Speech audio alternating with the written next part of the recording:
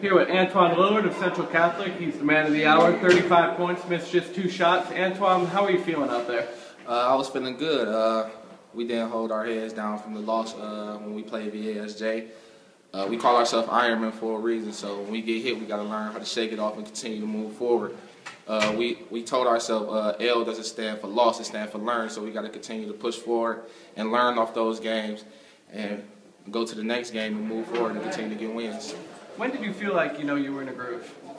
Uh, when I hit my first shot, uh, I knew I was feeling good. Uh, when I got to the free throw line the second half, uh, coming off screens, and I just I just felt good today, so I shot the ball with them.